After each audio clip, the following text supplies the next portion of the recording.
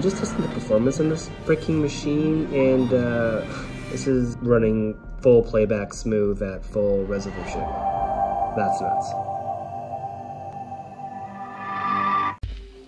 This is the new M1 Max 14-inch MacBook Pro. And I have to say, it's been a very long time since I've been this excited about a computer, and I've had a lot over the years.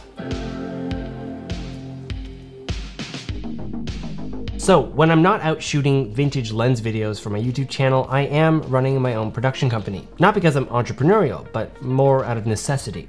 Specializing primarily on the post-production side of things. Computers have always been a tool I've had to rely quite heavily on, especially ones where speed is the name of the game.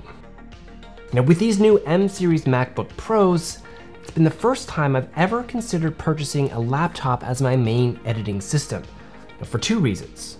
The first, growing the business has been a huge priority for me since my introduction to vintage lenses. I'm doing a lot more production projects now. Upgrading to the Red Komodo and the need for raw video, plus the ability to quickly turn these projects around, are now a top priority for me. Now, not just the Red Komodo footage, my S1H shoots high resolution H.265, which brings my current system to a halt. Now, I don't mind making proxies, but even still, the entire system gets bogged down quite heavily when you throw on color grading or layers. Now being able to edit these high resolution files seamlessly is a massive advantage to the workflow. Now I do need to dig a little deeper into this with testing, but all signs point to this thing rips. Now the second major factor when considering this purchase is portability. Because I'm doing a lot more production gigs, it's much easier to bring a capable laptop and external hard drive to set versus carrying around my iMac so that we can media dump and screen footage on site. For me, this is my first laptop that should be able to crush these two scenarios like a paper cup. And I'll crush you like a paper cup.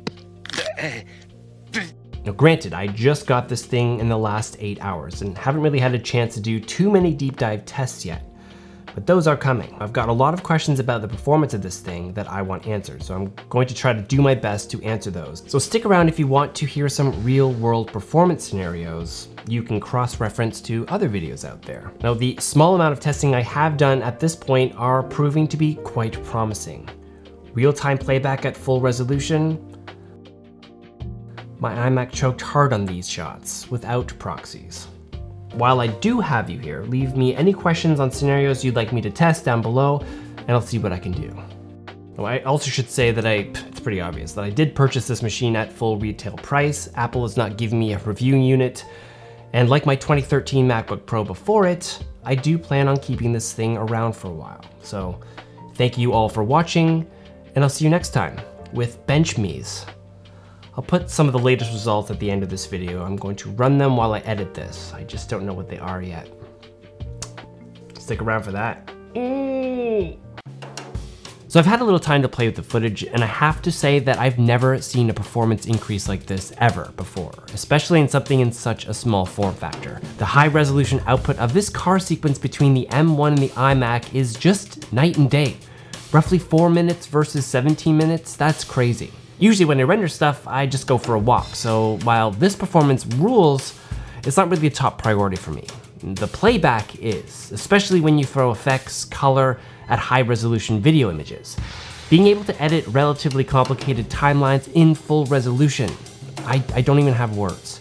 Now I'm not even using ProRes or ProRes RAW footage, which this thing is optimized for.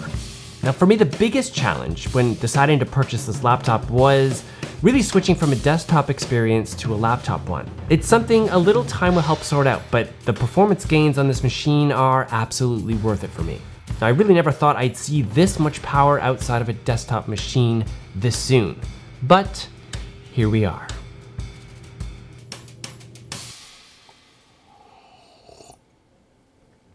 Ah, yum.